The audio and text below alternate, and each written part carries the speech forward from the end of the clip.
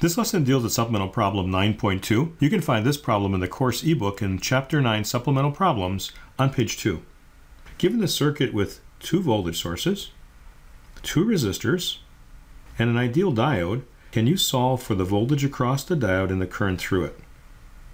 In our strategy for figuring out the states of the ideal diode, we're going to replace it by a resistor and label the current from anode to cathode. Then if this current wants to be in this direction, we're going to guess a short, and in the opposite direction, guess an open.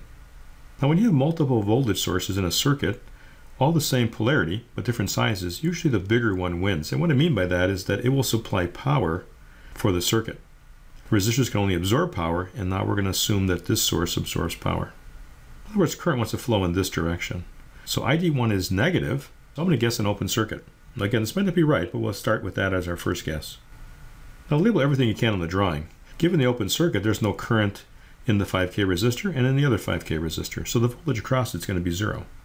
We'll go around here, we'll let the rise in voltage equal the drops. So I have a rise in voltage of 7.5, a rise in voltage of 0, a rise in voltage of VD1, a rise in voltage of 0, and then a drop of 5.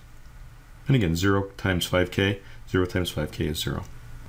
Solve for V sub D1, and we have 5 minus 7.5, and that's a negative 2.5 volts. And that checks our assumption that it was an open circuit. It's also the value of voltage that we're going to be solving for. And then the current is equal to 0 because it's an open circuit.